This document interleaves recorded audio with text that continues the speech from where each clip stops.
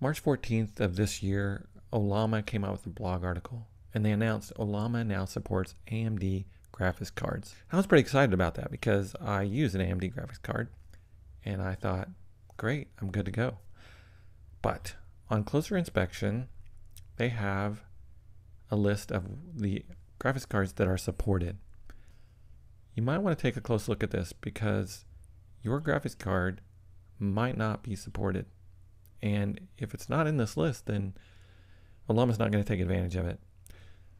And I was kind of in that spot myself. There's also in the Ollama docs, it has a section here of GPUs and what is supported. If we scroll down to AMD Radeon, I'm running an AMD Radeon 6750 XT. That is not on the list, unfortunately. So that's kind of a downer, but there are, and it has some overrides that you can try on Linux, but again, I'm on Windows. So if you're in the same spot, then I want to show you today a workaround where you might be able to get Ollama to utilize your older AMD cards or an AMD card that is not on the list as officially supported. So on the troubleshooting page, it does give you some information on AMD GPU discovery, but it's really for Linux. So if you are running this in Linux, uh, there's some things you can try to force it, um, you know, things you can check, and also some things uh, which we're back on here where you could override force it to override. If your GPU card is not supported, you can find some good information in your Ollama log file. Especially you can find the GPU type, uh, which you'll need to know later. The solution to our problem is to install a different version of Ollama. There is a GitHub repository from Like Love Want. They forked Ollama and created Ollama for AMD and made some changes. The purpose is to run on AMD graphics cards that that are not officially supported. We're going to look here, uh, and they have some examples of a list from this repo, repo. And if you remember, what we needed was one that was 1031, which is not officially supported up here. They have 1030, but not 1031, not 1032, and so on. This should allow Ollama to use our GPU. Okay, but before we get started, just a few words, I think, of uh, caution. So I think it's a good idea before you do something like this to create a Windows system restore point. So I would do that first. Second, I think it's important if you have had Ollama running already and up and going, it's probably a good idea to go in to this uh, wherever your Ollama model files are in this case, it should be something like C users and this variable name, username, dot Ollama. Okay. All right. So once you're in there, I would just back up that whole dot Ollama folder uh, somewhere, because when you when you uninstall Ollama, it's going to uninstall that. And if you've had to download these models before, they're some of them very very huge. So you don't want to have to do that again if you can help it unless you got a super fast connection, you don't care. But uh, something you might consider. I have created a system restore point and I have uninstalled Ollama. All right, we're at Like Love Want Ollama for AMD GitHub page, and we're looking at their wiki page. I think there's some confusion out there, so I want to clear this up first. I saw a couple pages online that was telling people how to get Ollama for AMD running on Windows. And I noticed on both of those pages, and they're they're good articles, except there's one thing that they had wrong. They were telling people the first thing you have to do is to download ROCm, and that is not necessary unless you're going to go through this development part. Like if you're going to build your own Ollama for your graphics cards and, and you know clone this and, and build it here at the end, then yeah, you you do need to install HIP the HIP SDK. And uh, but but if you're not, the best thing to do is just scroll on down and just install this demo release version. So in this section, there's a link that goes right to their releases.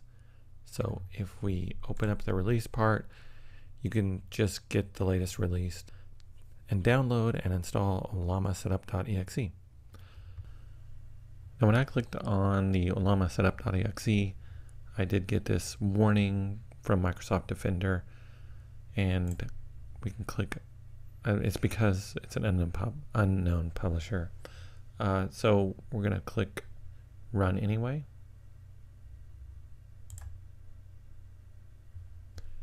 If you installed Ollama before, it's going to look the same. And we have it down here in our system tray running. And the next thing you're going to have to do is replace some of these ROCm libraries. And they make it real easy because there are pre-built ROCm libraries here. And again, there's a link to this. You just have to know which GPU model to target. ROCm is an open source software stack developed by Advanced Micro Devices. Okay, so it's made for the GPU programming part of it. Just a, a fun fact uh, ROCm originally stood for, it was supposed to represent Radeon Open Compute Platform, but Open Compute was registered trademark, so AMD just kind of dropped that acronym and now refers to ROCm just simply as their open source stack. It shows the official AMD ROCm supported GPUs, and um, we already know ours is not supported. We can take a look at this, and it shows a matrix down here. We are going to want to flip over here uh, to the AMD Radeon. You may have a Pro, but we do not. So we're going to see if it's supported. The HIP SDK column is what we're going to be looking at, and I know that mine in particular is a 6750, right, XT. And it's a no-go. And that is the GFX 1031. And uh, so yours may be different, but you're going to look for it in the list here. And so you want to note this uh, LLVM target as well. You need to know that. Click on this link to get your pre-built library. And we're going to want to get the one for our specific cards. So you want to make sure you know your target. And ours was 1031, so we have a couple options here. Go down here and grab that. And we're going to let that download as well. Uh, it also says you may have to build your rocBLAS. And if you're wondering what the BLAS stands for, it is Basic Linear Algebra Subprograms. This is where you're probably going to end up putting these files. Well, it's one file and also the uh, library folder. You're going to replace both of those. All right, so we're going to walk you through that. So what we're going to do is we're going to take this. This was for the GFX 1031, which was for my card.